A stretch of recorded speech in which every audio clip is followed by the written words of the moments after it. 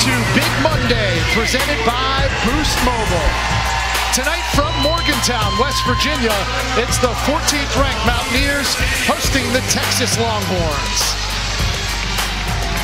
From inside a packed house at WVU Coliseum alongside former Big 12 veteran King McClure, I'm Rich Hollenberg. King, Press Virginia is dead, and this is the year of the upset. 64 unranked teams have toppled ranked teams already this season. West Virginia, one of those teams this past Saturday, losing to Kansas State, but they still have one of the fiercest defenses in the country. Well, Rich, the team we saw on Saturday against Kansas State is not the typical West Virginia defense. They lock up they hold teams to 25% from the three-point line, second in the country. That's just what they do. And for Texas to pull off an upset, they're going to need another big upset, for another big effort from Jericho Sims. Jericho Sims, 20 points, six rebounds last game against one of the premier bigs in the conference in Udoka Azubuike. Can he keep it up tonight? We will find out. Sims is averaging a double-double in big play, Big 12 play, and they say styles make the fight. It's a cliche, but it's true in this case. Shaka Smart's team loves to push the tempo, get the ball up and down the floor, and shoot a lot of threes.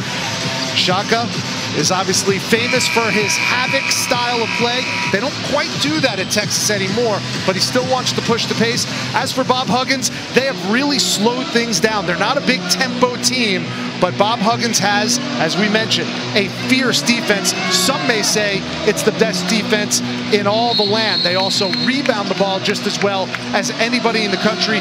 Those are going to be keys tonight as West Virginia and their home whites going up against the Longhorns in their road rust orange uniforms. And Matt Coleman for the Horns controlled the opening tip.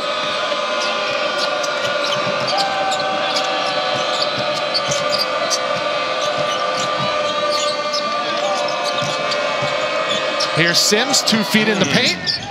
And it rolls off, and a rebound goes to Derek Culver, who's second in the conference in rebounding. Your West Virginia starting five, Emmitt Matthews really struggling offensively. The key players to watch are the two bigs, number one in white, Derek Culver, and number 34, freshman sensation, Oscar Tshiebwe. Those two at the top of the Big 12 in the rebounding category. Sometimes West Virginia's best offense is rebounding their own misses. Here's Tshiebwe with his first touch. Shot fake goes right at Sims, off the mark. Here comes Texas. Courtney Ramey down the right side, and he got handled by McCabe, but still got it to go. No whistle. It's 2 nothing. Texas on top. If Texas can get in transition tonight, that might be one of their best offenses. Inside high post, Culver. Jermaine Haley gets the touch, working on Febres. Nice touch along the left side by Jermaine Haley for the first bucket for the Mountaineers. Jermaine Haley has actually been playing, I wouldn't say good, but he's been solid. 9 for 13 in his last three games from the field. Make it 10 for 14 now with that bucket. West Virginia coming in at 14 and 3 overall, 3 and 2 in conference play. Texas 12 and 5 overall and 2 and 3 in the Big 12. Kamaka Hepa with an air ball, but it goes off Tshiebwe's leg and out of bounds. It'll be a fresh 20 for the Longhorns.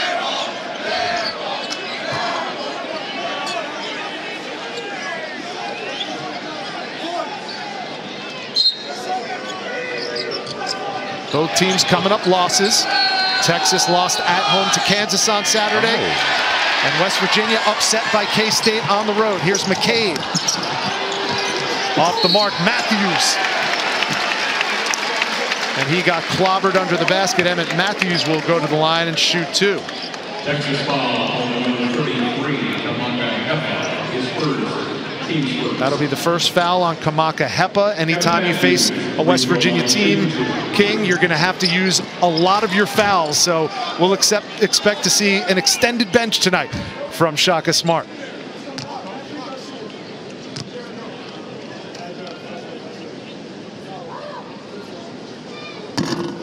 And Matthews can't convert on the first free throw of the night, but free throws are something that West Virginia does in abundance. As a matter of fact, they come in with 264 free throws made compared to Texas, Tim King, only 205 free throws attempted by the Longhorns. Oh, wow.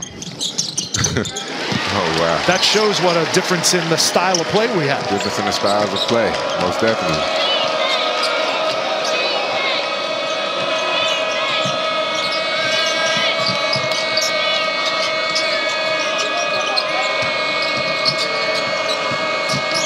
Coleman.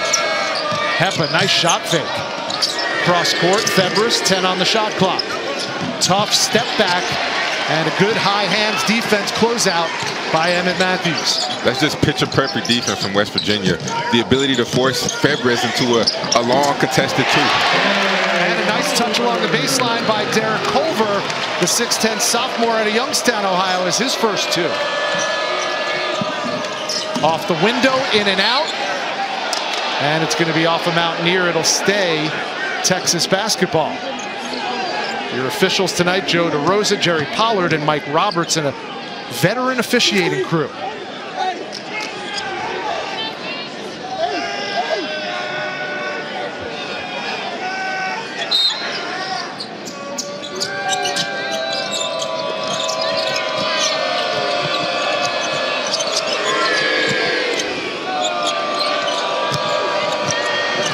Sims. Right hand, soft touch, short. And Tshiebwe has the rebound. To me, that's just not what Sims does. He's a great roller in the pick and roll. He's a great dumb down player, really athletic, but I do not think he's a post-up player. And I, I, don't think that's the offense that you should go to right now. First three attempt by Matthews is good, and that's a terrific sign for Bob Huggins. He has really struggled offensively this season. Three for 17 in Big 12 play, but he's got four points already tonight. That's a great sign. I think he is the X factor to take this West Virginia team to the next level. If he's really good, this is a Elite Eight Final Four team. Nice look, and there's Sims doing what Sims can do, getting bouncy and throwing down the two-hand flush. You know, Fran Fraschilla often says that Oscar Tshiebwe is the most athletic player in the Big 12. I disagree. I think it's hands down Jericho Sims. Not saying that he's better than Oscar Tshiebwe, but I just think he's more athletic because I played against them both. And Jericho Sims is more of a threat when you go try to finish over him. Well, let's take a look at that athleticism from Jericho Sims that you talked about. They cause havoc, and sometimes when you cause havoc, you have breakdowns. And that was a great location, and they found Jericho Sims to get the easy flush. Jericho Sims has been impressive in Big 12 play, averaging a double-double, 11.8 points and 11.2 rebounds. 10 on the shot clock for West Virginia. Here's Gabe Osabuohien just checked in. And he's a defensive specialist, a little bit challenged on the offensive end, and it showed there. Hey, he had a great game last last game. Might have been the only thing that went right for him. He played his butt off, honestly, on, on the offensive end.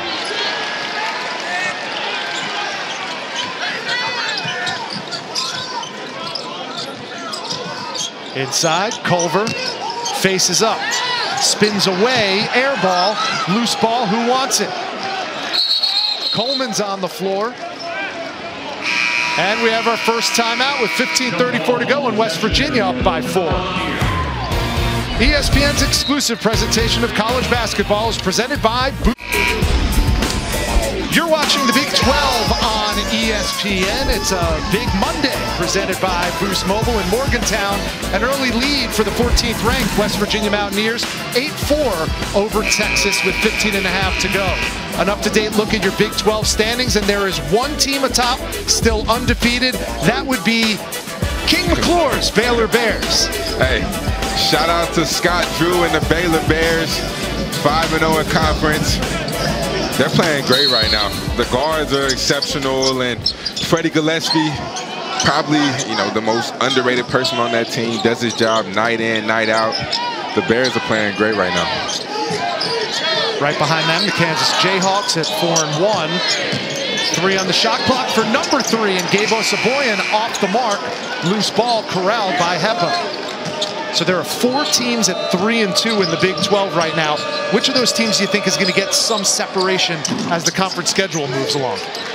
Uh, well, I, I, I like this. You know, it's really hard for me to tell right now. I, I, I love Texas Tech. I, I, love Chris Beard. You can never count him out because he's such a great coach and, and his defense is unlike anybody else's. Jordan McCabe with that last bucket. And that's another good sign for the Mountaineers offense because he's shooting just 25% coming into this game. Well, our big Monday night continues on ESPN over on the Big Network. It's a 9 Eastern, 8 Central matchup with Oklahoma taking on the aforementioned number one Baylor Bears in Waco. The Bears have beaten the Sooners in their last three meetings and five of their last six. But how about those Bears? 14 straight wins, and they're number one in the nation for the second time ever. The last time was when King McClure was still playing for them. Sophomore year, uh, Mountaineer fans will love this. Came number one on Monday. Tuesday came into this building and got beat by 30 plus points. What do they say? Uneasy is the head that wears the crown. Man. And we've seen that this season. As we said, it's the year of the upset. Hey, that's just how it is in college basketball this year. Parity at its finest. Here's Matthews. Uh -oh. oh, Matthews might be. This is huge for him. Basketball is such a game of confidence. And if you see him and McCabe the last few games, the last game that Emmitt Matthews played against Kansas State, he just didn't look himself. He did not look confident. And him hitting these shots is huge for him and his confidence because, like I said earlier, he can take this team to another level. Matt Coleman silences the Mountaineer crowd. His first points of the game, and he is now six for his last 13 from three-point line. Nice look inside. McCabe. Shot fakes by Tshiebwe will send him to the free throw line. Texas foul number five, West well, Oscar Tshiebwe, we talked a lot about Jericho Sims, how he's averaging a double-double in Big 12 play. Same thing for big number 34 in white.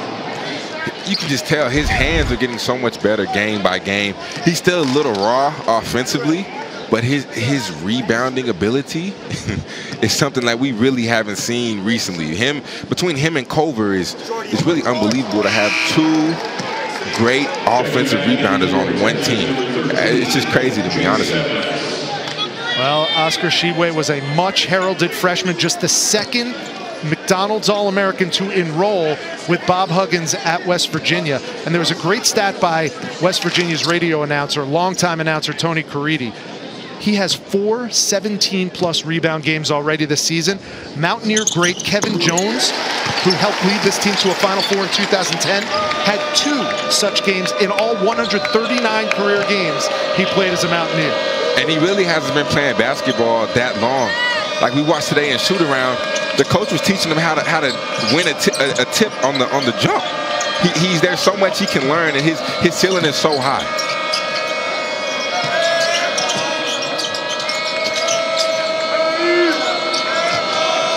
Hepa left alone. He can knock that down, and he does. Kamaka Hepa has his first three of the night. That is why Kamaka Hepa entered the starting lineup the last six games. In conference, he is shooting 47% from the three-point line. He is a good floor spacer for this team.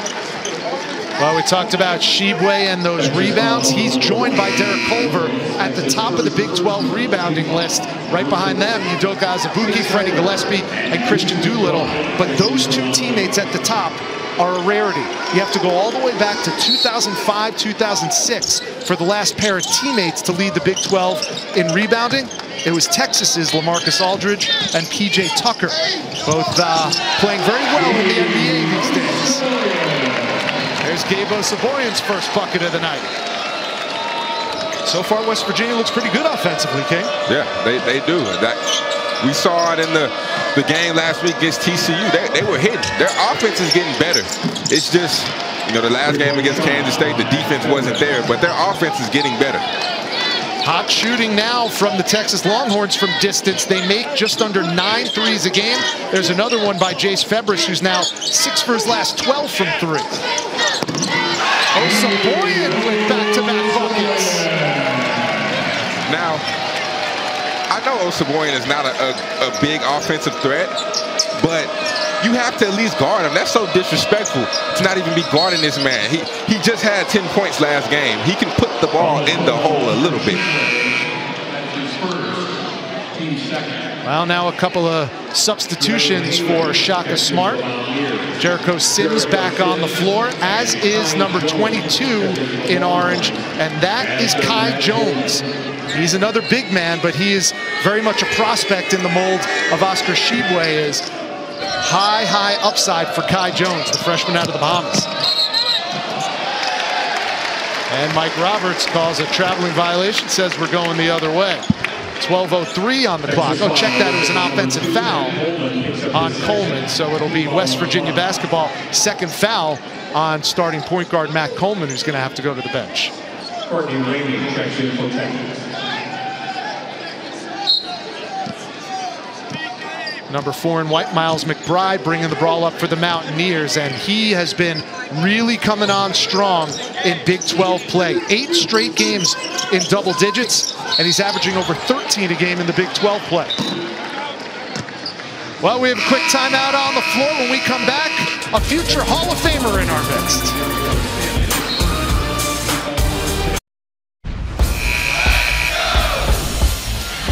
Bob Huggins now in his 38th season as a Division One head coach. It started back in the mid-80s in Akron. Then he moved to Cincinnati where he led the Bearcats to a Final Four berth. Moved on to the Big 12 in Kansas State for one season. And now Country Roads has taken him back home. He's at his alma mater, West Virginia, where he graduated in 1977. His 13th season overall as the Mountaineers head coach. He is a 2020 Hall of Fame candidate. And in my humble opinion, he should be there. He's fourth among active winningest coaches and eighth among all-time winningest coaches. McBride misses as the buzzer sounds, but an offensive putback. Oscar Tshiebwe almost had a chance at one, but he got fouled. And Tshiebwe is going to give the Mountaineers an extra possession. That's going to be the second foul on Jericho Sims, so to the bench he goes. Well, that's already the seventh team foul for the Texas Longhorns, so that sends Oscar Tshiebwe to the free throw line.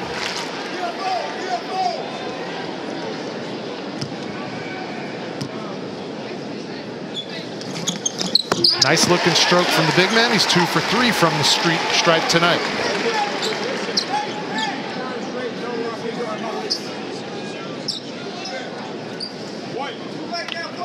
Tshiebwe, the preseason Big 12 Freshman of the Year, and he's done nothing to make those prognosticators look bad. Knocks them both down. He has three points, and the lead is six for West Virginia. Now we see some full court pressure for the first time. Again, no more press Virginia for Bob Huggins, but he will harass you with some full court pressure from time to time. And also, I mean, it helps when you play 12 players. He just wears you down. So the last five, 10 minutes, if you're only playing seven guys, you're tired. You got to be in great shape in order to play this Mountaineer team. There's Andrew Jones. Febres with six on the shot clock. Another ill-advised shot by Jace Febres. It goes out of bounds, and it's going to be Mountaineers basketball. They're living with that shot nine times out of 10. Jace Febres is a he's a really good catch and shoot three-point shooter. But when he has to put the ball on the floor, no matter if it's once or twice, that's just not his game. That gets him out of his rhythm. And West Virginia is living with that three by Febres. And again, the numbers aren't that bad for Texas so far. Three for six from three-point land, but West Virginia is doing their damage in the paint. There's Chase Harler, had it knocked away, saved by Culver. Now 10 on the shot clock.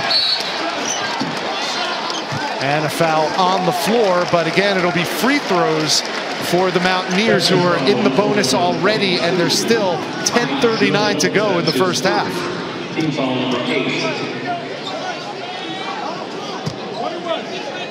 Oscar line the Mountaineers. Two shots.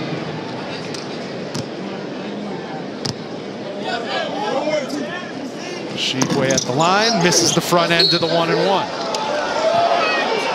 And it goes out of bounds. It'll be Texas basketball.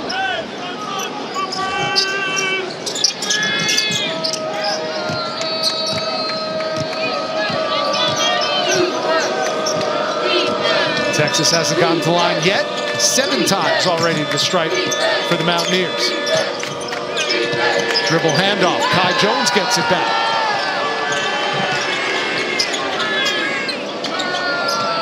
And look at the Mountaineers. They are up in the chest of the Texas offensive players.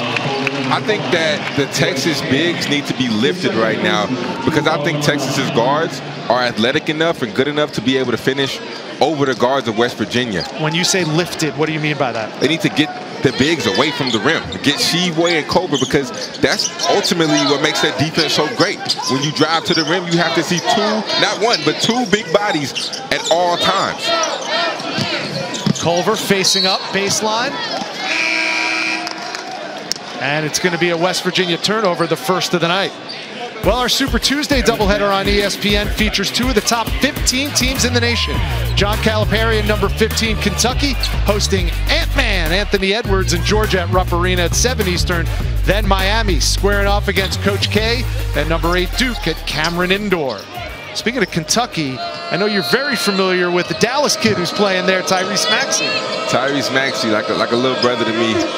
From the Dallas area, really talented, averaging 14 points per game this year having a great year for Kentucky. Uh, one of them fantastic freshmen we see every year that Coach Cal produces.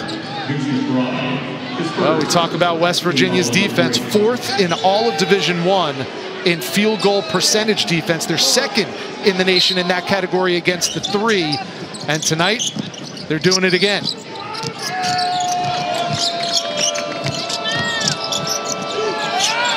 Here's Jones for three. Too strong. Tshiebwe tried to run with it before he got it, but Matthews gets on the deck.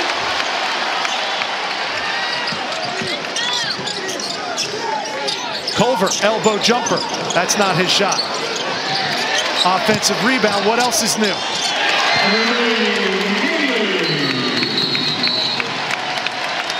A timeout on the floor by Shaka Smart and the Longhorns. 14th ranked West Virginia has themselves an eight-point lead at home against the Longhorns.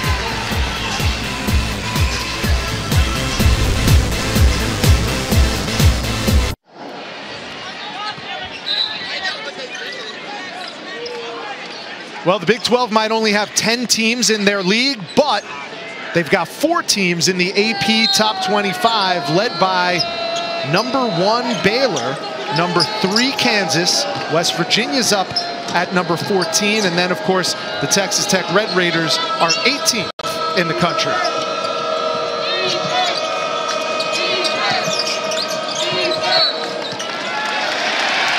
That's a traveling violation, and again, the turnover bug biting the Texas Longhorns. Well, there's a look at the AP poll we were just talking about in the top 10. Well represented by the Big 12 in the top there.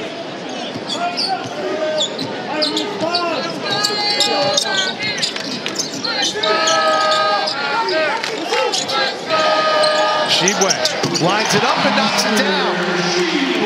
First field goal tonight for the 6'9 freshman. Largest lead of the game for the Mountaineers. Nice cut. Extra pass. Oh. Kai Jones with the throwdown. Count it and one for Kai Jones. What an answer. Oh. Oh, my. It all started by Ramey. That was a great find. Way to draw Tshiebwe up. Now it's Kai Jones against Miles McBride, and any day, any any day, Kai Jones is winning that battle. Great story, Kai Jones, recruited out of the Bahamas. Really, track and field was his best sport. He got cut from his eighth grade basketball team.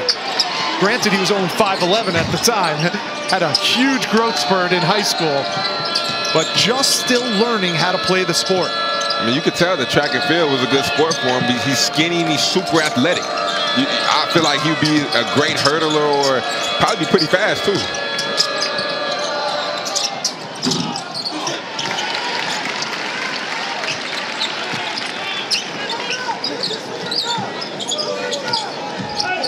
Here's McCabe. He has got crazy handles. If you've ever seen any of his YouTube videos, Matthews, that one looked good. Offensive rebound, Tshiebwe. In traffic, just kind of threw it up there.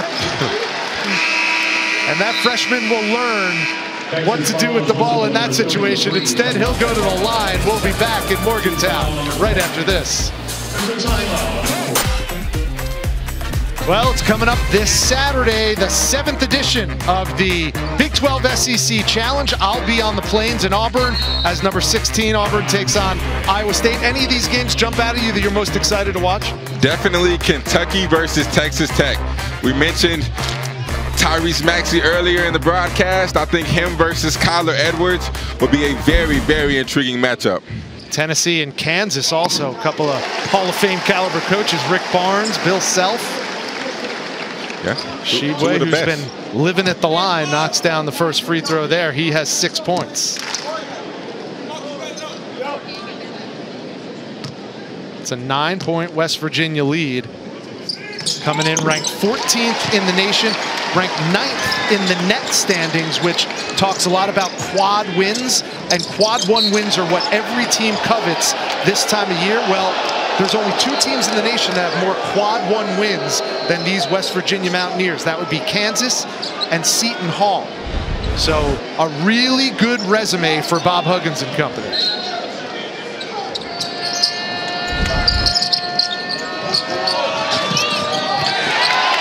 Haley picks it up and puts it in.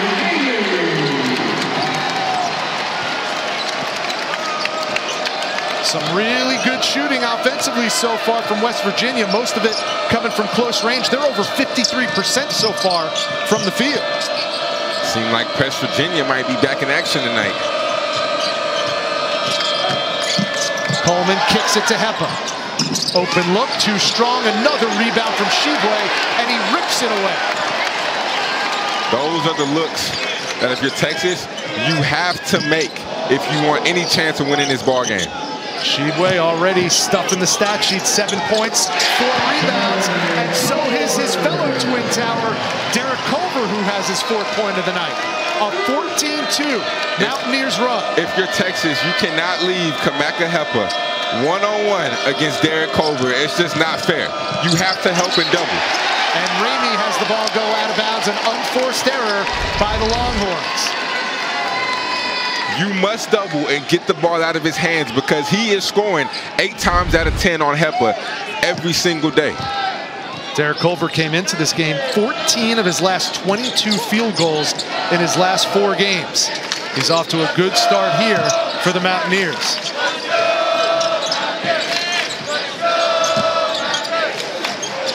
Here's McCabe, catch and release. Yes!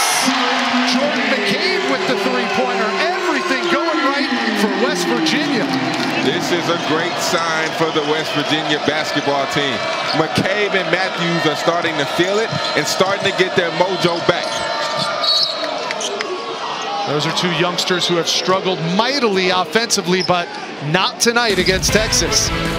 Well, coming up on Wednesday night, Zion Williamson making his long-awaited debut for the Pelicans. But first, it's the Raptors and the Sixers in an Eastern Conference matchup at 7 Eastern.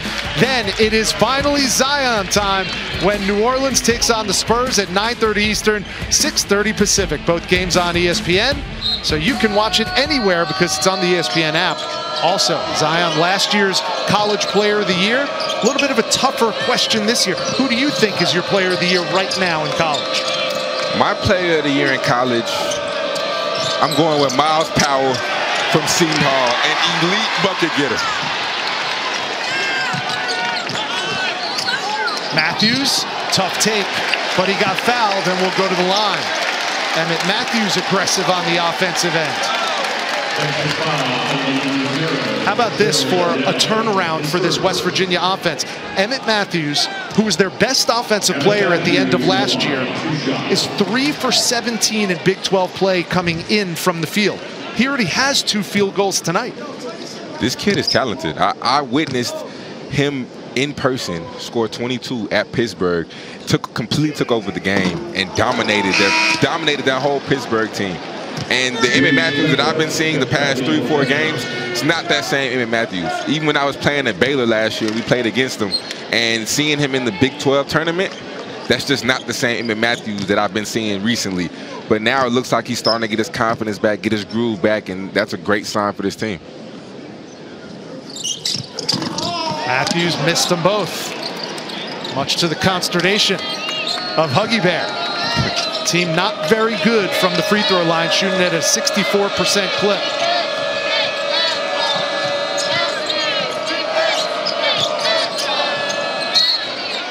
That's a kick ball out of bounds. It'll stay Texas basketball. Well, 5.44 on the clock. This game so far dominated by West Virginia. What does Shaka Smart have to do to stem the tide and start to turn things around?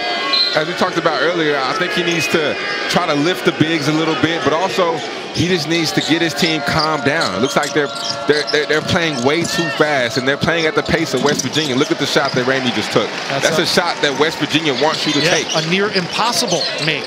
You, you, need to slow down and play at your pace. That's the biggest thing against West Virginia. Do not play to their pace. Only one field goal for the Longhorns over the course of the last seven plus minutes. That one off the hands of Culver out of bounds. It'll be Texas basketball.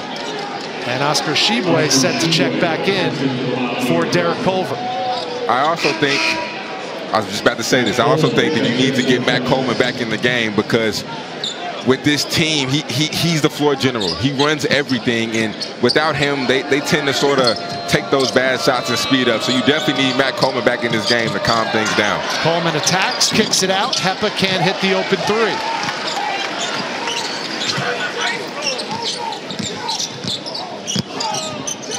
Haley baseline, can't get it to go, out of bounds off the hands. It looked like it was off the hands of Jericho Sims, but Jerry Pollard says it's Texas basketball. And Bob Huggins can't believe it.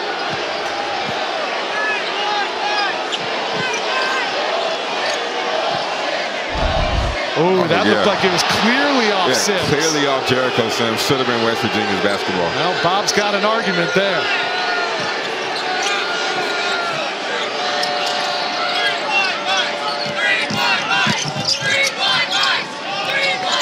Febres catch and shoot. Still can't find the bottom of the bucket.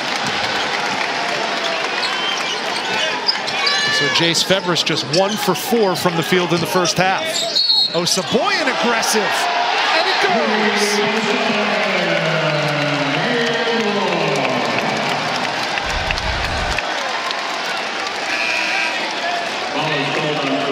Back up so far that it gives him a runway and his body is so strong he can finish. He can shoot the 8 to 10 footer but he can also get to the cup because of his strong frame. You know he's, he's not a bad offensive player. Teams completely disrespect him but this kid can play. He's not here for for no reason. In fairness, I think everybody looks at what he does on the defensive end and it overshadows everything. He might be minute for minute, the best defensive player in the Big 12. He's got 84 deflections and 13 charges taken coming into this game. But now we're seeing a little bit of an offensive blossoming from Gabe Osabuohien, who's got seven points tonight. Yeah, definitely. But when you back up to the, the charge circle almost below the Big 12 logo, anybody can score on you then. He, he's not a bad basketball player, and teams treat him like he's a bad basketball player. A 20 to 2 West Virginia run. They're up by 20. And we've got a foul on the floor on Oscar Tshiebwe. That's going to be the second foul on Tshiebwe. Immediately, Bob Huggins goes to his bench, and Logan Routt will take his place.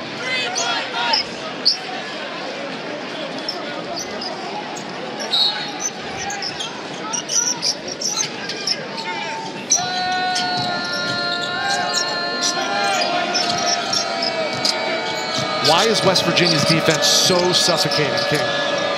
Well, not only the fact that they're long, but they deny the they deny the wings, and they speed you up and force you to play at their pace, like we talked about earlier.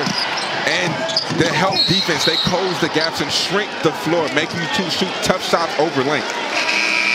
Well, we have our final media timeout of the first half. A 20-point lead for 14th ranked West Virginia by former Mountaineer football player Eugene Napoleon. The highlight of the morning was the university's presentation of an MLK Achievement Award to a retiring civil servant who's been a lifetime advocate for people with disabilities and more recently, independent living for the elderly. Alongside King McClure, Rich Hollenberg, Great to have you joining us on Big Monday on ESPNU. Bob Huggins and the Mountaineers up 20 on the Texas Longhorns, 35 to 15 with 3.57 to go in the first half. And all the key West Virginia stats, the things that they pride themselves on, their tent poles, if you will, they are dominating in King. Points off turnovers, 12 nothing West Virginia. Points in the paint, 14 to 6 West Virginia. And second chance points, 7 zip West Virginia. That's a typical West Virginia defense. I mean, they're holding Texas right now three for three for 11 from three, 27%, a little high in their in their eyes. Um, they typically hold teams at 25%, but 27 is still great. But that's just that's just what they do. And Matthews converts on the first one. He has seven. Balanced scoring from the Mountaineers, who are shooting over 56% from the field as a team. They've got seven from Matthews, six from Tshiebwe, five from Jordan McCabe, six from Jermaine Haley, and seven from Gabe Osabuohien.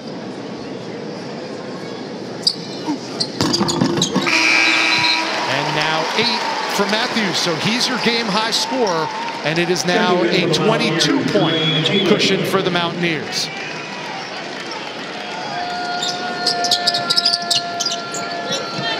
And some more pressure.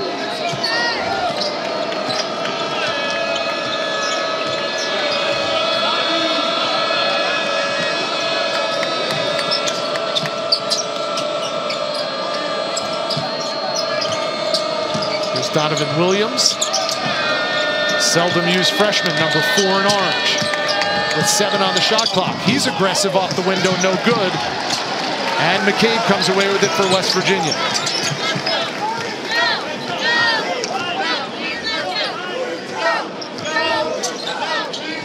High post Haley, inside route.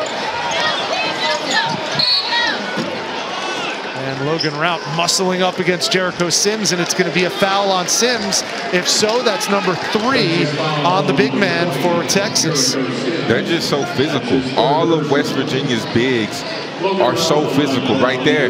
Logan Routt drew the contact. Jericho Sims was just trying to just trying to maintain his position and ended up fouling because he didn't want to get knocked back. But West Virginia is just being so much more physical than this Texas team right well, now. King, we talked about balanced scoring for West Virginia. It's balanced fouling for the Texas Longhorns. So the bad news gets worse for Shaka Smart and company. His starting point guard, starting stretch four, and starting big man all have three fouls in the first half.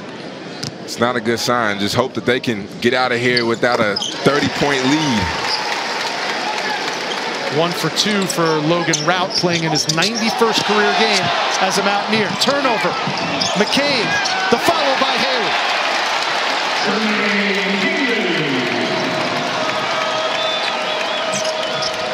Twenty-five to two is the run that West Virginia is currently on with under three minutes to go in the first half. Texas just looks like they don't know what just hit them right now. They, they look shocked, like they've never seen this before, which I mean, honestly, they probably haven't with this defense being so great. 10 on the shot clock. Bad pass by Jones. Here comes McCabe, but a foul is called first. That's going to go on Royce Hamm. another Longhorn with three fouls. The press is working tonight. Jordan McCabe with a great steal. And hey, Jermaine Haley just playing West Virginia basketball, finishing with a great tip in. Derek Culver at the free throw line for the Mountaineers, shooting two. So Derek Culver steps to the line. It's been a parade of free throws for the West Virginia Mountaineers. The left-hander knocks down the first one.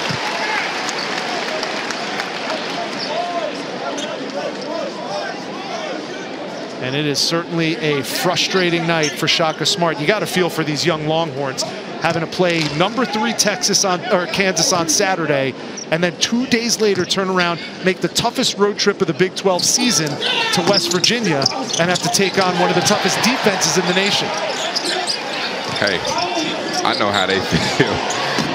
I've been down by 25, 26 at halftime, trying to fight my way back, but only difference was I'm seeing Jevon Carter and, and Daxter Miles all game, 94 feet everywhere I go.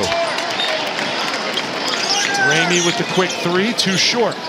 Here's Harler, aggressive to the hole. Culver the offensive rebound. Spin move, no good. Haley, no. And Routt clears for him. Right now, they're just punking Texas right now. Just absolutely punishing them on the glass. Tough shot by McCabe. That's mixtape worthy, King. A 20-zip West Virginia run capped by a circus shot by number five, Jordan McCabe. This is a great sign. Jordan McCabe getting his mojo back. I see you, young fella.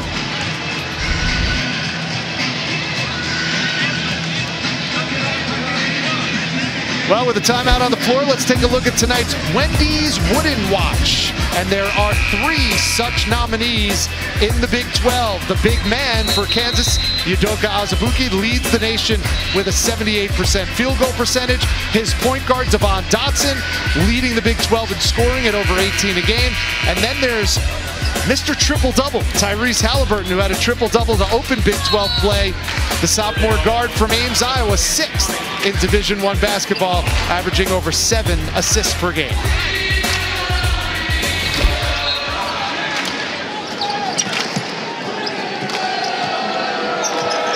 Those are all good offensive numbers for those three. I think defense has really told the story so far in the Big 12.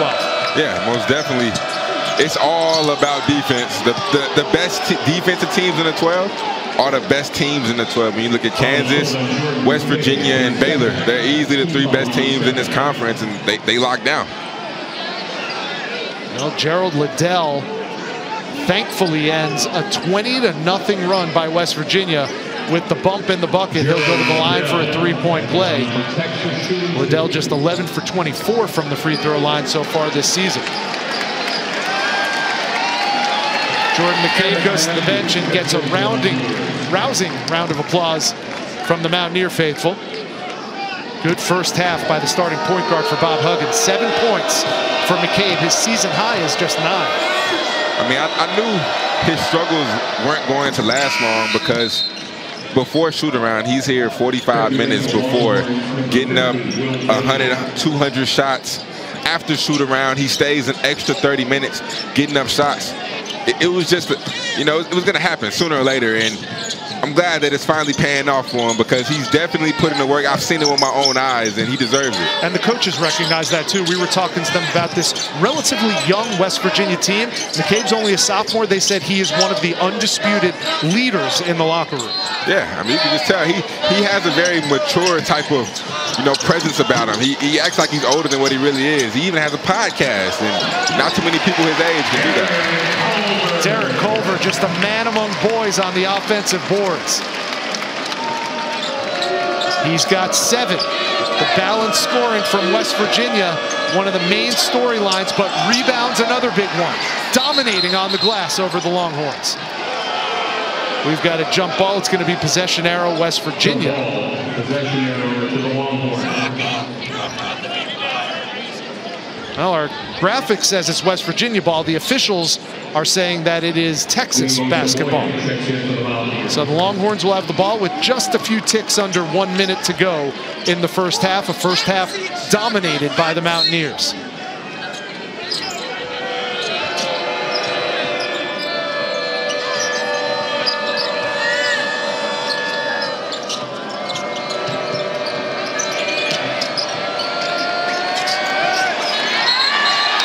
And a traveling violation called on Courtney Ramey caused by that West Virginia defense. He had nowhere to go. When you have a 6'7 guard guarding you and a 6'9, 6'10 big in a trap, and they won't let you through, you have absolutely nowhere to go but backwards, and that's what he did.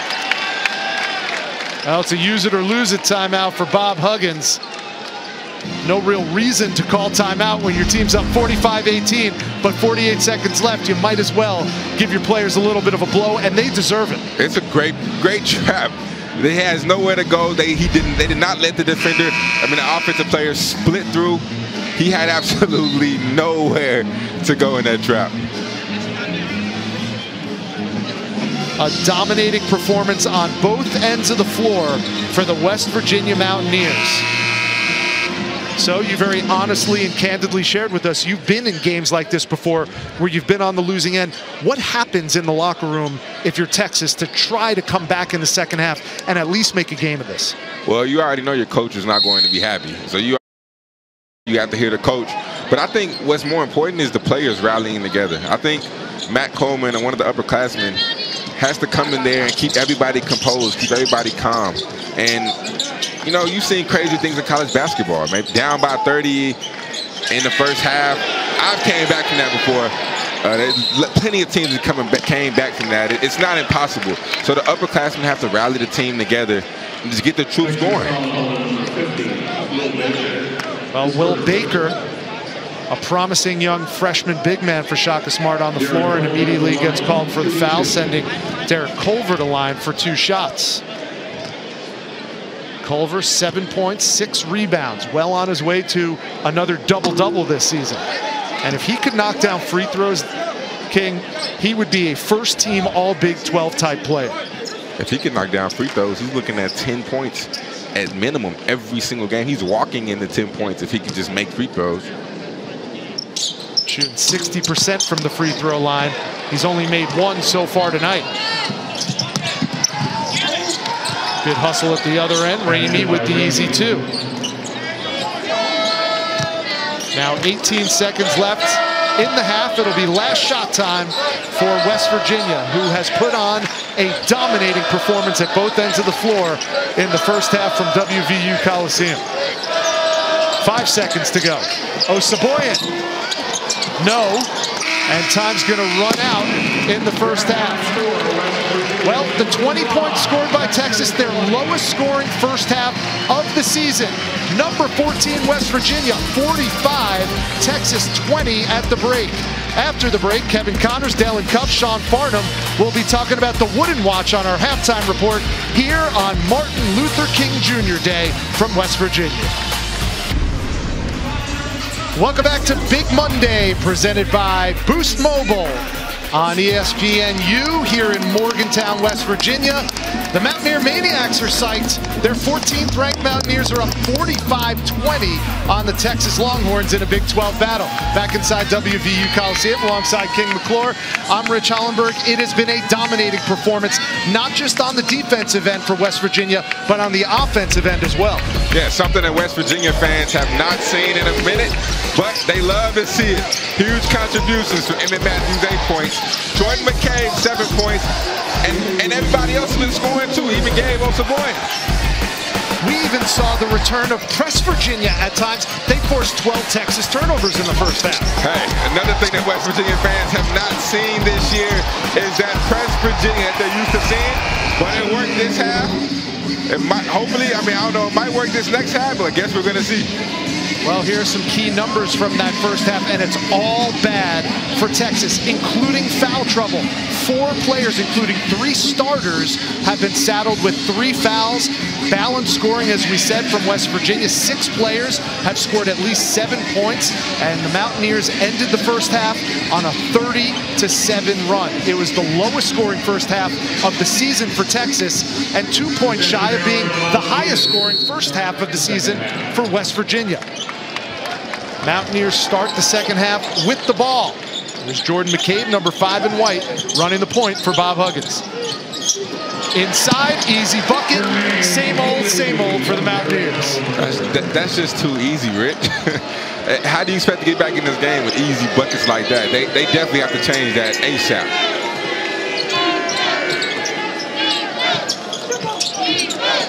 Nice look. Sims, but Ramey can't pay it off. You know, it's funny because Bob Huggins was the one telling us this earlier today in practice. He said there are going to be about five games on every season schedule where you look and you say, I, I just can't figure it out. I, I don't have an explanation for it. He chalked their Kansas State loss on Saturday up to can't figure it out. Yeah. I have a feeling Shaka Smart might say that about this game. Well, I can help him a little bit. It's the defense for sure. The defense of West Virginia is just that good.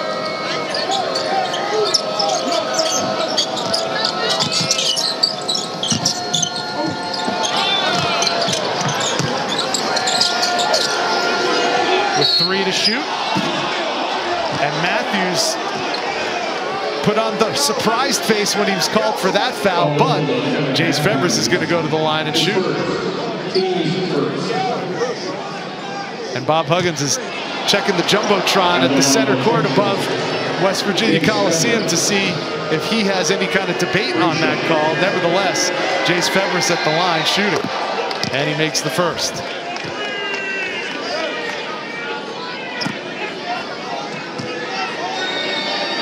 It has been a nightmarish shooting first half for the Texas Longhorns. There are three guards who start for them, Febres being one, Ramey the other, and of course the point guard, Matt Coleman, came into this game shooting 46% from three in their last three games. Not the story that we're seeing tonight. They're just not getting those same open looks that they're used to getting because of the length and the athleticism of this West Virginia team. It's, it's just not the same. Now some pressure to try and mix things up. But it's solved by McCabe and company. Good hands getting up the line by Corey Ramey. He picks off the pass. Andrew Jones starting the second half. The rebound goes out of bounds. It's going to stay Texas basketball.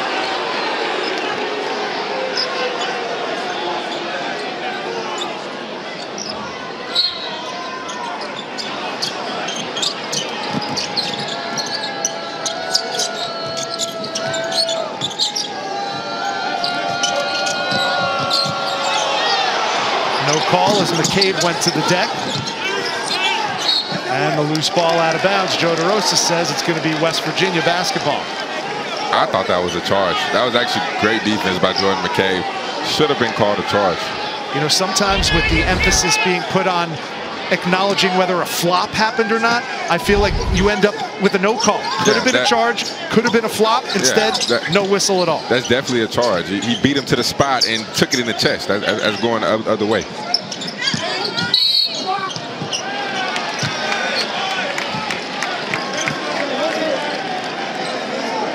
That foul is going to go on Andrew Jones. And what do we see from this one in the replay?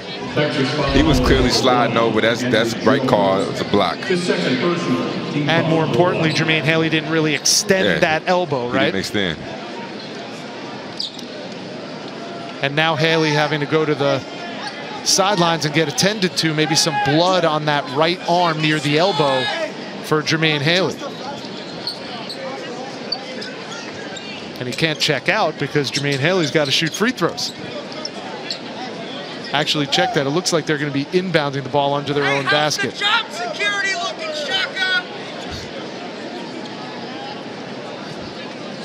Haley, one of those six Mountaineers with seven points or more. As a matter of fact, he's leading all scorers right now in double digits with 10. I think the reason why he's such a good scorer is because he's a one, like a point guard, shooting guard, but he's six seven. So a lot of times, shooting guards and point guards aren't used to boxing out big guys like that. He's really a, a prototypical small forward size, a wing, and you're not used to, to blocking out somebody of that size. So he's able to get offensive rebounds and easy putbacks. Here's Ramey, changes direction. Kai Jones. And it's a loose ball. And look at the smallest player on the floor, Jordan McCabe, fighting his way through the scrum to get to the ball. It's going to be possession arrow, Texas.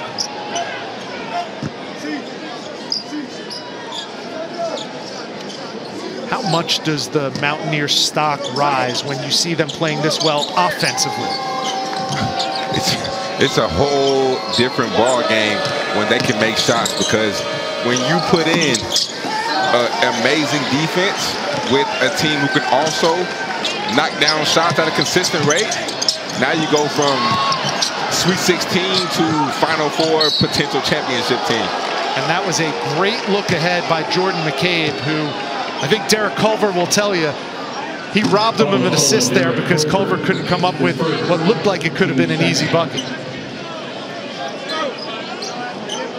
Well, here's your scoring leaders so far.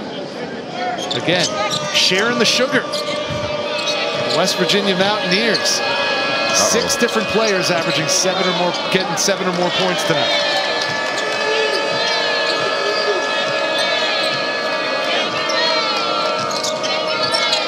Andrew Jones, fantastic story coming up on two years removed from a diagnosis of leukemia. You knew him well from back in your Texas days.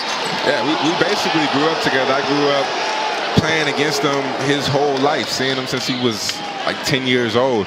He was a grade below me, but when I heard the news he had leukemia, you know, I, I was really heartbroken because I, as one of my boys and you never want to see one of your boys go through something that hard. But you know, I definitely reached out to him because I, I had overcame not not something similar, but an adversity of my own, and tried to give him encouraging words, and he, and he took them and he overcame his. So I'm, I'm proud of him, and I'm, I'm so happy to see him back on the court. Uh, he's been a, a solid contributor this year basically spending two years as a redshirt on the sidelines watching, and he still has about 10 pounds to gain, what the coaching staff is telling us. But he can go out there and knock down a three. People forget he was a McDonald's All-American coming out of Texas. No, th this kid can really legit play. This kid can hoop. He is really, really talented. And before when he was coming out of high school before he got to Texas, he was one of the best players in America, like you just said, a McDonald's All-American. So this kid is legit. Don't, don't get it twisted. This kid can hoop. He's just battling and trying to overcome something that majority of the people in the world could not overcome. After a career night against Texas at home, Jericho Sims is taking his medicine against these West Virginia big men. Sims had 20 points, that's a career high, on 9 for 14 from the field. The Texas coaching staff telling us they'd love to get Jericho Sims at least 10 field goal attempts a game. That's how valuable they think he could be. Tonight, he's been held to just two points, though. Yeah, they, they did a great job scouting. I feel like that was definitely an emphasis in the scouting report. They saw what he did against Azubuike and didn't want it to repeat and, and carry over this game. Just one for four from the field for Jericho Sims, who's going to get another shot at the free throw line. Interesting note on Sims as we watch him at the free throw line. He's going to be shooting his free throws right-handed. He used to shoot them left-handed. Last year, they changed his shooting stroke from a lefty to a righty, if you could believe that. In college, they changed it, and they said he's ambidextrous, basically. He just looked better shooting it right-handed, and he's improved his free throw percentage. Man, that's crazy. there's no way I can shoot free throws left-handed. I mean, I'll shoot it right-handed, but there's no way I can switch hands in college. That, that, that That's unheard of. Culver leans in, gets the foul called.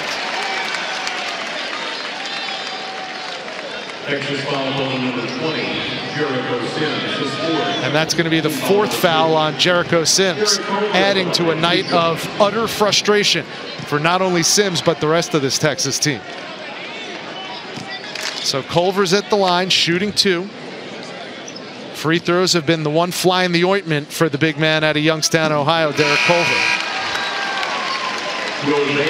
But he makes that one, him eight points on the night. And the fouls continue to mount for Shaka Smart's program. Sims the first to four fouls now. And Culver goes two for two from the free throw line. I think it's interesting that we have not seen Matt Coleman yet. Uh, uh, I, I'm a little confused about that because maybe a little bit of a message being sent. He does have three fouls as well. But but he's he's a floor general. At this point, you're down by 25. You want to have any chance of getting back in this game, you're going to need him out there to make that run. First four minutes gone by in the second half. There's a fadeaway jumper from Kai Jones, no good. Out of bounds, it'll be West Virginia ball in our first media timeout of the second half with West Virginia rolling over Texas. ESPN's exclusive presentation of college basketball is brought to you by Phillips 66, proud sponsor of Big 12 basketball. All of us around the nation celebrating Martin Luther King Jr. Day as part of West Virginia's celebration. The school and some of its students taking part in a number of community service projects around campus and Morgantown. Of those, some Mountaineer athletes bringing smiles and a helping hand to residents of a local nursing home during lunchtime. Great to see the WVU student athletes thinking outside the world of just their college athletics.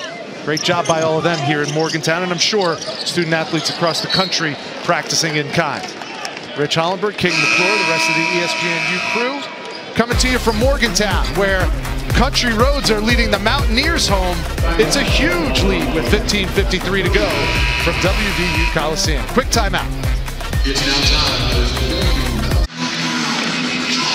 we're back in Morgantown on Big Monday presented by Boost Mobile in a Big 12 matchup that hasn't been much of a matchup at all. 14th ranked West Virginia dominating Texas. Here's three reasons why. Points on turnovers, points in the paint, and second chance points, all a whitewash in favor of the Mountaineers, King.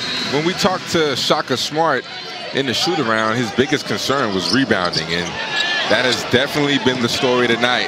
Can his team keep up rebounding with this great West Virginia team? Taz Sherman getting his first action on the floor. Nice dime to Jermaine Haley, who leads all scorers with a dozen. And that's out of a timeout. You're looking for effort and energy from Texas, and you don't get it. Here's Will Baker. Wild left-hand hook shot off the mark. And McCabe clears on the left side.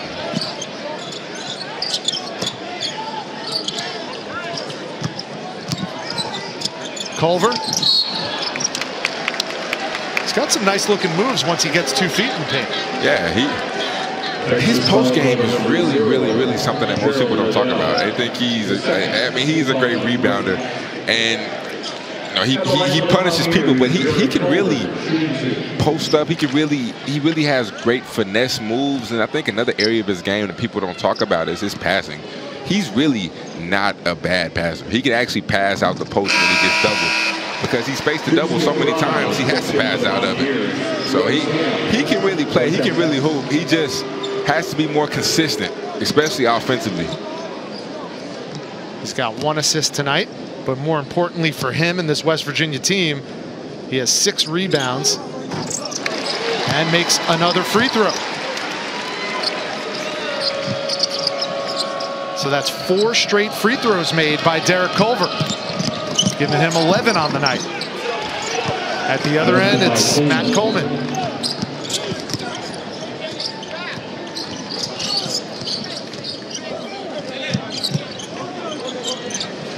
Wide open three. McCabe. That one looked good off his hand. It touched every part of the rim and just bounced out. Right there with that possession, when McCabe shot the ball, if you notice, everybody's head on Texas team was looking towards the rim. They were all ball watching, as we call it. With this West Virginia team, you have to, you can't ball watch. You have to just go look for bodies and go hit. Because if they, if not, they're going to overpower you and get the rebound. What a shake by Derek Culver. On that one. He really has good post moves. He, can really play. He's a really talented player down low. A game high 13 for Derek Culver, number one in white. And now Royce Hamm might have gotten away with one. Draws the foul instead. Oh. Let's take a look at Derek Culver in the low post. A little shimmy. Give me that. Come here. Oh, good bucket by Derek Culver, the monster. This is a young man who, as a freshman, had eight double-doubles in conference play one year ago. Derek Culver was no joke. Having to go against him, having to play against him, even though he was a freshman. It's, it's kind of crazy because you see freshmen on the on the on the on the on the roster on on the the, the basically the, the scouting report. You see a fresh from a scouting report, and you think, oh, he's just a freshman. He, he's not he's not that aggressive. He's not that tough. He's not that physical. But you play against this kid last year, and he's bullying our big men and taking us one on two. And he, you can tell this kid's going to be special just by playing against him his freshman year. Taz Sherman got fouled on the way to the hoop. Interesting to note, Taz Sherman with the number 12 on his jersey. You mentioned this earlier, King. Bob Huggins not afraid to use 12 rotation players in any given game and uses it to his advantage. Taz Sherman, one of them that gets sporadic minutes, but if you're looking for instant offense, Taz Sherman came off of a JUCO season where he was fourth in the country in scoring at the junior college, college level, averaged 26 a game last year he definitely gets buckets, but his teammate that comes off the bench with him, McNeil, was first in the country in That's scoring right. in JUCO. 29.7 last year. And So- McNeil hasn't even gotten on the floor tonight. So when you talk about instant offense and playing 12 guys, I mean, you're you're looking at your, your seventh, eighth men are bucket getters, and, and they're elite. So, I mean, this team is deep, and that's why another reason why they're so good. There's Sherman with the steal. And Miles McBride comes away with it. In the corner. Oh! And Logan Routt goes down. And he was tangled up with Donovan Williams. I don't think that was intentional at all, but they got tangled up and couldn't get untangled on the way to the deck. Texas foul number four, Donovan Williams, his second, team six. So that'll be the second foul on Donovan Williams. Nothing intentional. And Logan Routt might be having flashbacks to his high school quarterbacking days, thinking he was getting sacked just now. I still can't believe he was a high school quarterback. So they are going to review it to see if it was a flagrant run. From my eyes in real time, it didn't look like Donovan Williams intended to do that at all. I think Donovan Williams did did what, what we talked about earlier, found somebody and just tried to box him out. It was a clean play. Now the problem is it, it, it could be Yeah, called a hook and hold, could. and if it's a hook and hold, Yeah. then it is automatically a flagrant one. Yeah, that- so that is the good yeah, call that- by that our be a hook and veteran, hold, yeah. our veteran officiating crew, Joe DeRosa, Mike Roberts, Jerry Pollard. They're all in there, and that was an easy one when you saw the replay. I mean, I see. My thing about the whole hook and hold is, I, I see what they're trying to do, but I don't necessarily agree with it because sometimes it, it just happens. It's not intentional. You're not trying to hurt the person, but it just happens. Especially you being a, a guard who has to box out bigger guys like that, you just happen to get tangled. So, I, I don't. I'm not a big fan of the hook and hold rule. So that sends Logan Routt to the line. He'll shoot two free throws, and then West Virginia will have the basketball. Well, our big Monday tonight continues on ESPN with another Big 12 matchup at 9 Eastern, 8 Central. Oklahoma going to Waco to take on the number one Baylor Bears. Baylor coming on the heels of 14 straight wins, and they jumped over Gonzaga for number one in the polls. From what you've seen so far, trying to be as impartial as you can be, as a former Baylor Bear yourself, do you think they deserve the number one overall ranking right now? I do. I do. I, I think they deserve the number one ranking because the loss that they had to Washington, they were up. They played 38 minutes better than Washington did. Dominated that whole game. Last two is we see Jericho Sims pick up his fifth and foul out, but they dominated that game all the way up until the last two minutes, and that's their only loss of the season. So. Well, this will do it for Jericho Sims, called for his fifth foul on the night in what is one of the most forgettable of his career in Austin. Coming off what is probably the best game of his career this past Saturday against the Jayhawks.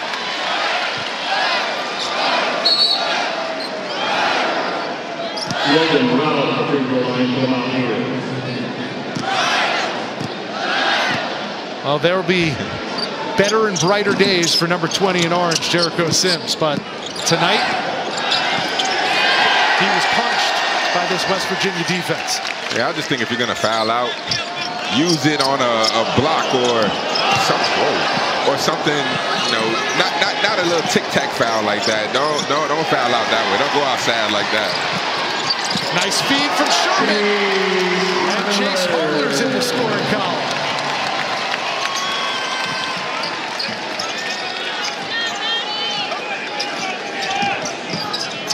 It should not go unmentioned how Gabe Osabuohien started that play in transition by diving on the floor. That young man is a walking floor burn.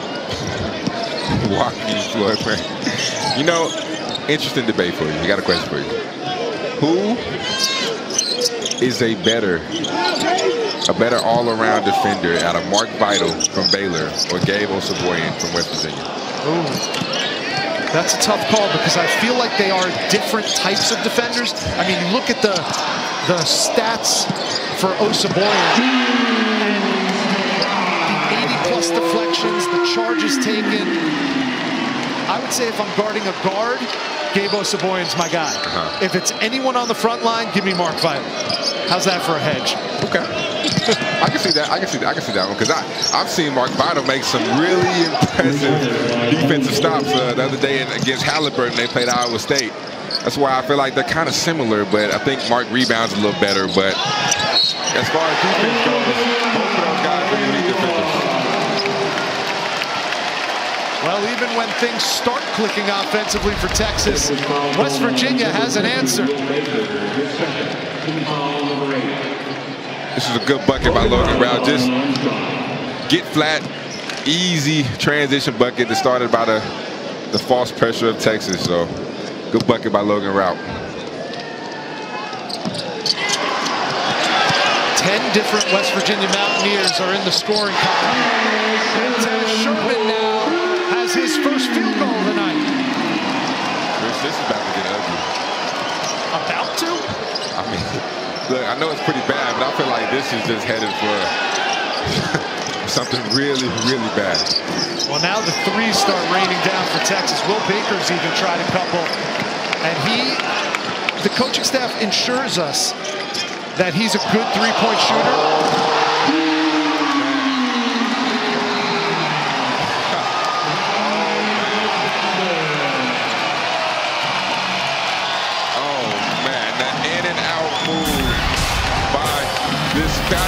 Freshman. Look out for Miles McBride, West Virginia Mountaineers.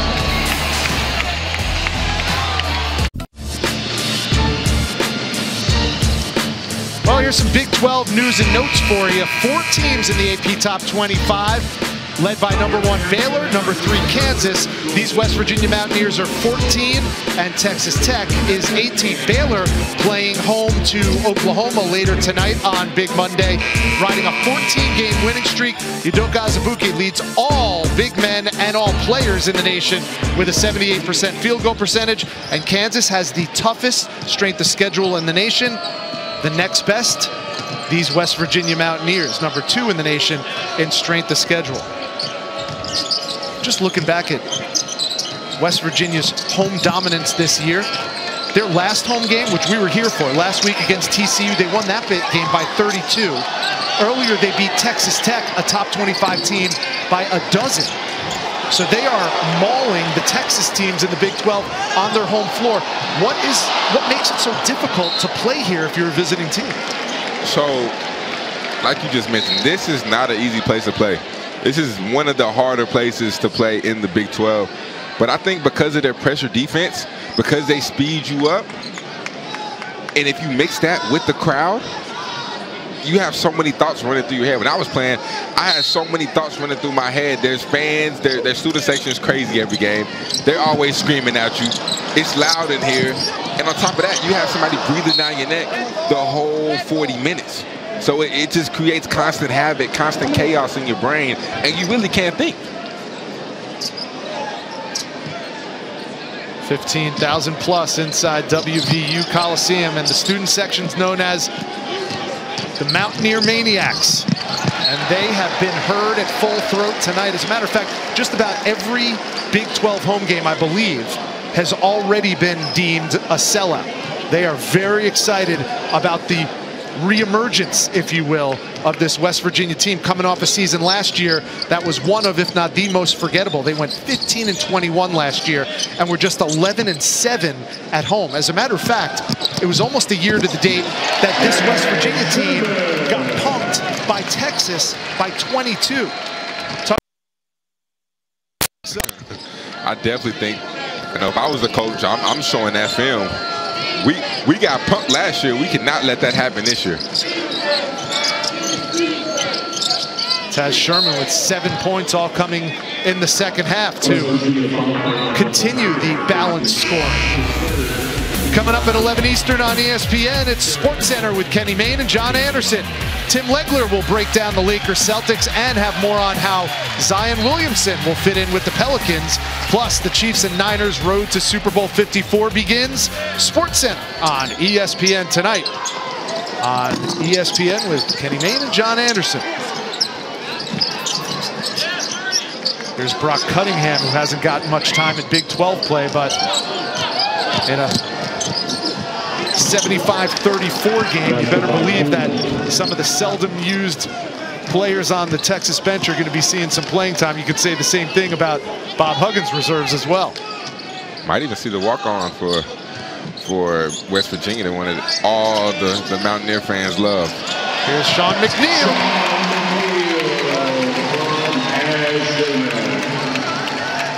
Eleven Mountaineers have scored tonight.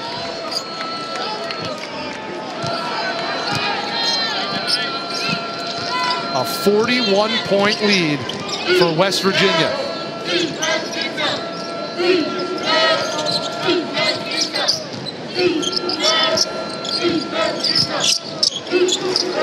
Matt Coleman step back, no good. And it's grabbed by Culver.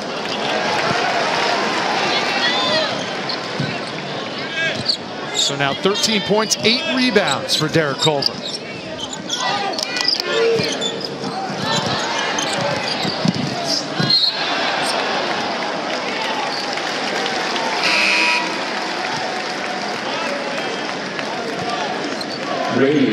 In for the Longhorns.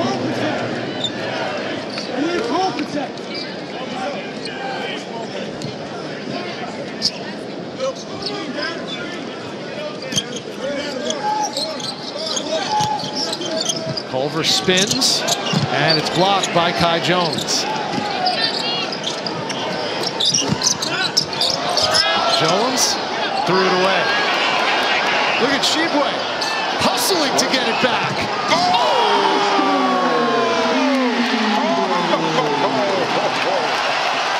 Oh my! And the smile from Tshiebwe on the way down. My goodness.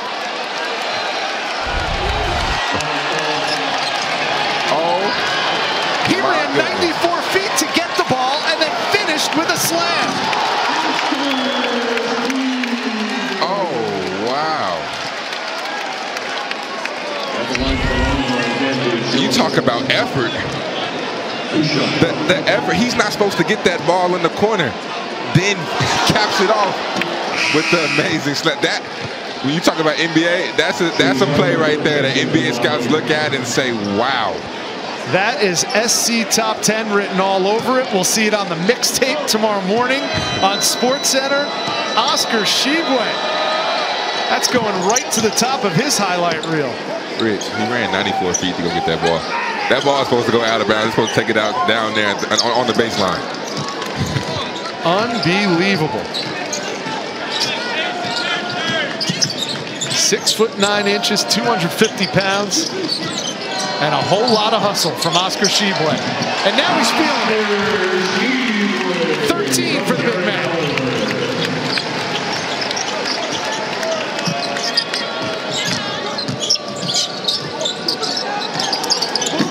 Jones, high arc. Oh! And there's a follow slam by Kai Jones. A couple of freshman big men in the Big 12.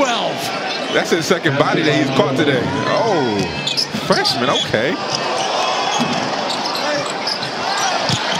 Tshiebwe the rebound, but he lost it to Jones. Are we getting a little can you top this right now? Hey, I would- I would love to see it. I'm here Give it back to Kai Jones. Come on. Tshiebwe another rebound. Oscar Tshiebwe is going to be a rebound shy of a double-double. We have a timeout on the floor. A 41-point lead for the Mountaineers. Folks, you want to talk about effort. This is effort. There is no way he should have got this basketball. Everybody else wanted him to let it go. Then tops it off with the nasty slam. Oscar Tshiebwe, I, as a basketball fan, appreciate your effort. If that dunk is not on the SC top 10, if that play is not on the SC top, SC top 10, I'm boycotting. I mean, look at this for the Mountaineers. They live off of second chance points. Tonight they have 24. Want to know why they lost that game in Manhattan to K-State? They only had nine second chance points against the Wildcats. Sometimes you're the bug, sometimes you're the windshield. And what's crazy to to talk about how good oh to talk about how good this West Virginia team is. Didn't play good at all against Kansas State, but still cut the lead down to six and still had a chance to win that game. That's how good this team is. Keep in mind, they only have three losses. They lost a close game on the road to St. John's. They lost to Kansas, no shame in that. And of course, that ugly loss on Saturday against K-State. Well, Big 12 now on ESPN Plus, a must-have for Big 12 hoops fans. It's the exclusive home for 18th-ranked Texas Tech at TCU tomorrow at 8 Eastern, 7 Central. Plus, next Wednesday, those same Red Raiders hosting number 14 West Virginia. Also, Texas squaring off against TCU that same night. Both games at 8 Eastern, 7 Central. You can sign up today at espnplus.com slash Big 12. Febres with the free throw. He's in double digits with 10. I got to tell you, I'm not just saying this because I work for the company. That ESPN Plus app is money. If you haven't seen any of the shows like Penny Hardaway show, or even better, I'm telling you, that Peyton Manning show, Peyton's Places, Yeah. is so worth it. It is nonstop entertainment. We spend so much time traveling Yeah. at the airport on airplanes. It is well worth it. Well, Tshiebwe and Culver are checking out. Chances are we won't see them again tonight. But what an effort put forth by the Morgantown version of Twin Towers. Hey, to add to your point with the ESPN Plus app, if you buy the Disney Plus app with the ESPN Plus app, that's even better because the Disney Plus app, I absolutely love. My little girl loves all those Disney movies, and we always watch it, and we always use it all the time. Will Baker went down hard going for that rebound on the full extension. Good to see get, him get up and at least try to walk it off.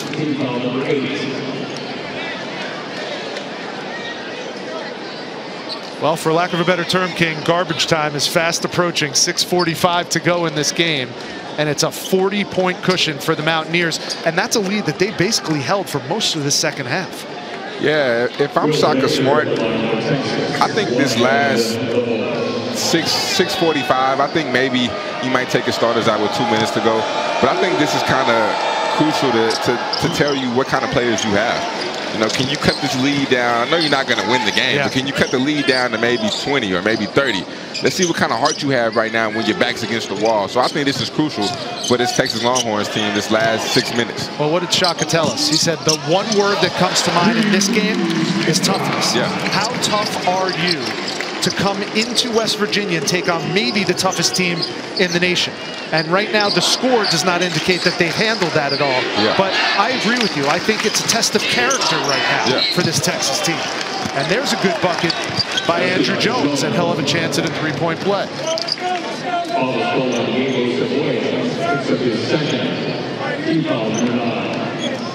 I mean, there are so many things that you could be impressed with about West Virginia. I'm really impressed with the balanced scoring we've seen from the Mountaineers. Not just the fact that 11 players have scored, but everybody getting buckets and sharing the basketball too. 12 assists for West Virginia tonight. They- They're just that deep and that talented, which is why I, I keep reiterating the point that they're a potential Final Four team when their offense is clicking. When the offense is not clicking, I think they're at least a Sweet 16 team because they play 12 guys. And they got eight guys who can go for 15 points on you at any given night. And that's just not like any other team we've seen. Logan Routt now has seven. That's a new season high for him. Andrew Jones heating up a bit.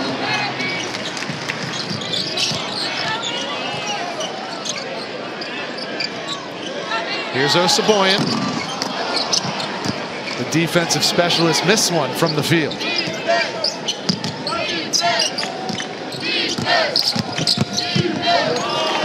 And here's another unforced error.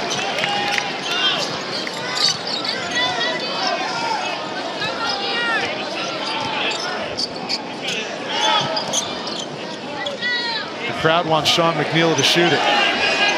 22 and White has You the ball. take this. He's a three-point specialist. That one too strong. Taz Sherman the rebound.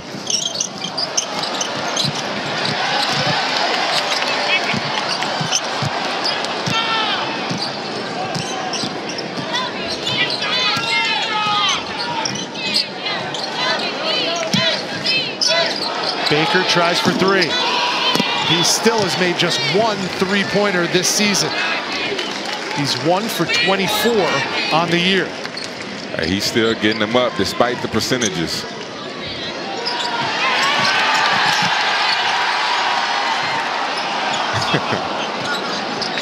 And you might have heard that roar from the crowd, if only momentarily. Osabuohien with a pretty up and under.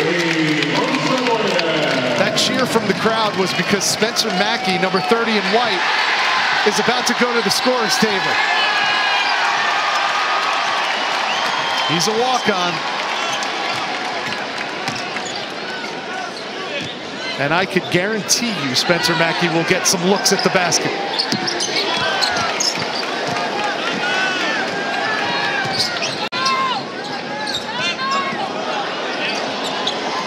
Here's McBride, too strong.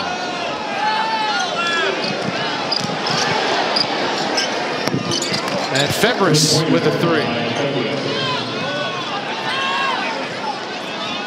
Even to build momentum for the next game Yeah. going forward, it's good to see Texas get some flow going offensively.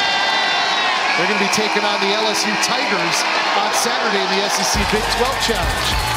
Well, it's been all Mountaineers, and the Mountaineer Maniacs are loving it. One of the great rivalries in all of college basketball, women or men, Tennessee and UConn. The Lady Vols currently 23rd in the country, UConn at number three. That's always a fun one coming up Thursday on ESPN. Adam Amin, Rebecca Lobo will have that call. And South Carolina still number one in the country in the women's game. A little more parity this year in women's college basketball. No true dominant team. Same could be said in the men's game. Yeah, you like to see it from women's basketball. I mean, I feel like the the parity is really good for the women's game because just being honest, not not many people watch it, and, and people need to watch it because these women can really play, and they, and they do a lot for our game. So, shout out to those teams. Shout out to the great women who play basketball. You do a lot for our game. We're here watching the Texas and West Virginia men's teams. Both their women's teams very good as well this year. Well, Logan Routt scored the last bucket for West Virginia. He's got a new career high. That's nine for him. But the big news is Spencer Mackey's on the floor, number 30 in white. He's the last man off the bench for Bob Huggins. He's played a total of nine minutes this season. Has yet to knock down a bucket. He does have two points on two free throws. But this Mountaineer faithful crowd wants Spencer Mackey to get a bucket. Let's see if he can do it in the final two minutes. Here he is with the ball.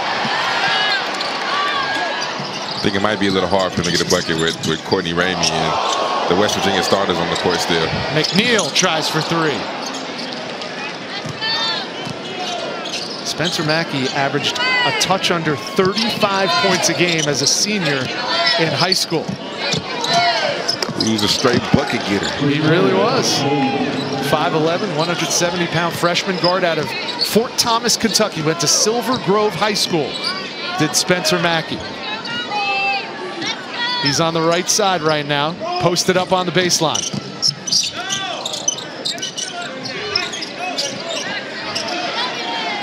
Who was that guy for you on Baylor?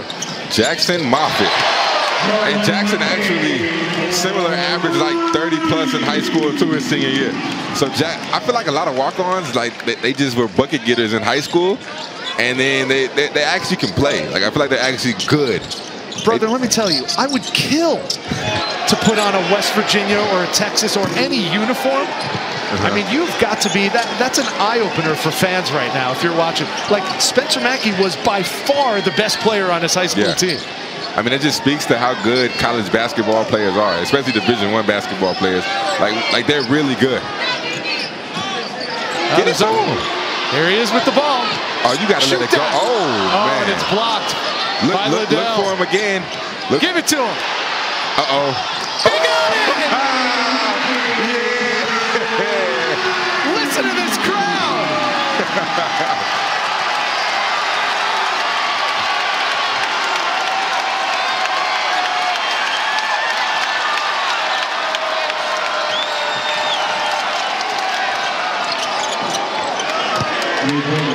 Well, that was the highlight of the night, or at least the cherry on the sundae in a blowout win for West Virginia.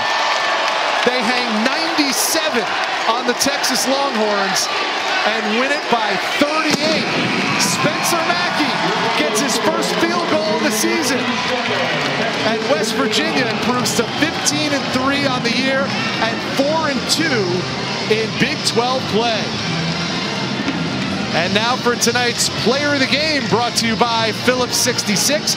You could have given it to any number of West Virginia Mountaineers players, but Oscar Tshiebwe is our player of the game. 13 points and 10 rebounds. That's his seventh double-double on the season. Just a freshman, and things are looking up for the Mountaineers. Final thoughts, King. If West Virginia's offense